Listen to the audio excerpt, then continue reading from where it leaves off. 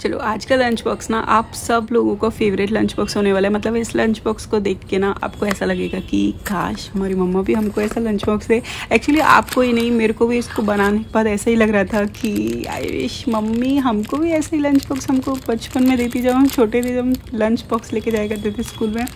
तो ऐसा तो हमारी मम्मा ने कभी किया नहीं पर मुझे कमेंट करके बताना आपने कभी ऐसा लंच बॉक्स लेके गए हो कि एकदम फुल ऑफ़ चॉकलेट्स और सब चीज़ें मतलब जो हमको अच्छी लगती हैं जो हम हमेशा खाना चाहते हैं ऐसा वाला लंच बॉक्स आप कभी लेके गए हो क्या? ठीक है तो यहाँ इस लंच बॉक्स को बनाने के लिए ना मैंने बहुत सारी डिफरेंट डिफरेंट चीज़ें यूज़ करी हैं मतलब ऐसी चीज़ें जो सबको अच्छी लगेंगी मतलब Uh, मैं छोटी होती तो मेरे को भी ये सारी चीज़ें अच्छी लगती मतलब अभी भी अच्छी लगती हैं पर ज़्यादा अच्छी तब लगती है जब हम छोटे बच्चे थे। ठीक है तो यहाँ मैंने पोकी डाली है, पोकी पोकी, क्या बोलते हैं इसको? शायद मैं इसको हमेशा गलत ही बोलती हूँ। ठीक है, थोड़ी सी किंडर भी ब्यूनो चॉकलेट थी मेरे पास, ये नट्स नहीं, क्या थे, नट्स थे हाँ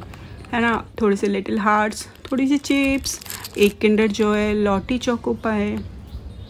और थोड़ी सी किंडर चॉकलेट थोड़ी सी नहीं, दो किंडर चॉकलेट और फिर डाला है मैंने फ्रूट टैला की चार पाँच कैंडी और इसके बाद इसमें डाली थी मैंने फरेरो रफेलो और और और और लास्ट में एक कैंडी कैंडी मैन की बेफर चॉकलेट